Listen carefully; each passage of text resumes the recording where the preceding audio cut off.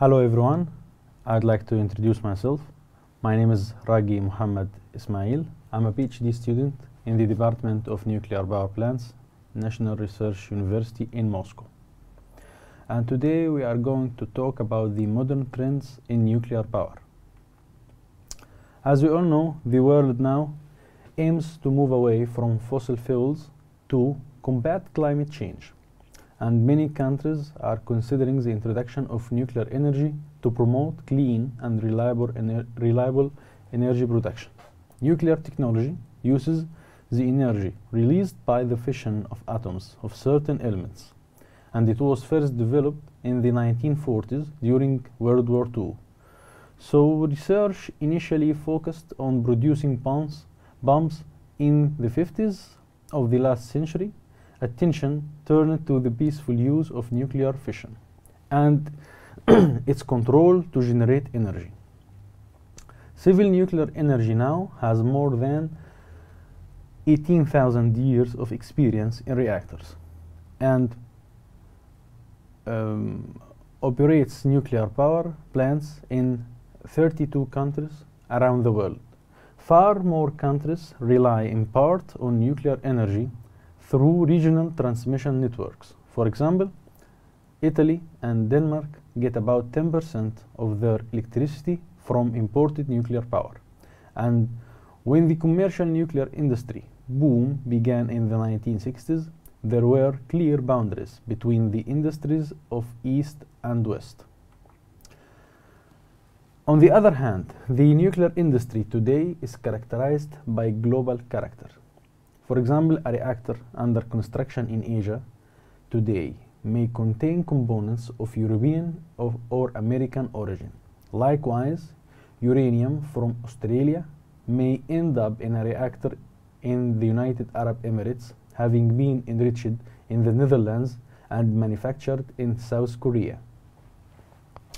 The uses of nuclear technology extend far beyond providing low carbon energy. It helps doctors to diagnose and treat patients and also has a role in space exploration. These diverse uses place nuclear technologies at the center of the world's efforts to achieve sustainable development.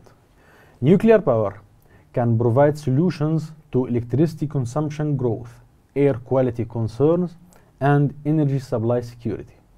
Many innovations for the expanded use of nuclear technologies in related fields such as heat or hydrogen production are also underway. If we look at the situation of nuclear energy in the world today, uh, we would see some kind of a timeline. As the first commercial nuclear power plants began operating in the 1950s, and nuclear power now provides about 10% of the world's electricity from about 440 power reactors.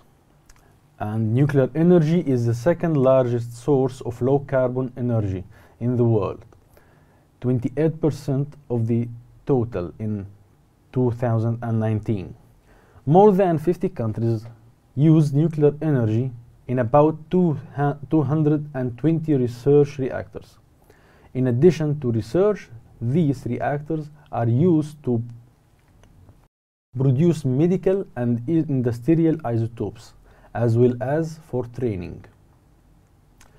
As we can see in this figure, the number of operating reactors in the world, uh, we could see that it, uh, it was growing uh, since the 1960s steadily until it reached in the mid 80s some kind of a steady state um, and it is still up till now around the number of 400 exactly 440 reactors. And here we could see the nuclear electricity production. About 10% of the world's electricity is generated by about 440 nuclear power reactors. About 55 more reactors are under construction in 15 countries, equivalent to about 15% of the current capacity. And in 2000, uh, uh, 2021, nuclear plants supplied 2,653 terawatt hour of electricity, up from 2,553 terawatt hours in 2020. Nuclear energy in the world today uh, is produced by um, uh, the 440 reactors which comprise one source of the overall production of electricity. As we can see, fossil fuel still has the largest share of the overall. For example, coal is about 36.7% and natural gas is about 23.5% and hydropower is about 16% where nuclear power with its share of 10% is exceeding solar, wind, geothermal and tidal energy. 13 countries in 2020 produced at least a quarter of their electricity from nuclear energy. France, for example, gets about 70% of its electricity from nuclear power, while Ukraine, Slovakia, Belgium, and Hungary get about half from nuclear power. Japan used to rely on nuclear power for more than a quarter of its electricity needs and is expected to return to near that level soon. The figure shows the nuclear generation by country in the year 2021. If we take a look on the developments in the, in the nuclear field in 2022, we would see that about six reactors have been connected to the electri electric grid uh, in China, Pakistan, Finland, and South Korea, in addition to the United Arab Emirates. As for the start of construction, we would see that China has the biggest share with five reactors being uh, started uh, the process of construction and uh, one reactor for Egypt and one reactor for Turkey. As for reactor shutdowns, it happened mainly in the West, in the United States and the United Kingdom, which shut, shut down in the year 2022 three reactors. Of course, there is a need to add a new capacity uh, around the world, both to replace aging fossil fuel units, especially coal-fired ones, and to meet the growing demand for electricity in many countries. In 2019, 63% of electricity was generated from burning fossil fuels, despite the strong support for and growth in renewable sources of electricity in recent years. The contribution of fossil fuels to power generation hasn't changed significantly in the last 15 years. It was 66.5% in 2005. Under the OECD ambitious scenario, nuclear power generation will increase by approximately 75% by 2050 to 4,714 terawatt hour and capacity will grow to 669 gigawatts. The World Nuclear Association puts forward a more ambitious scenario than this that proposes adding 1000 gigawatt of new nuclear capacity by 2050, providing one quarter of the then electricity, about 10,000 terawatt hour, out of 1,250 gigawatt of capacity, after allowing decommissioning for new, uh, um, a number of units.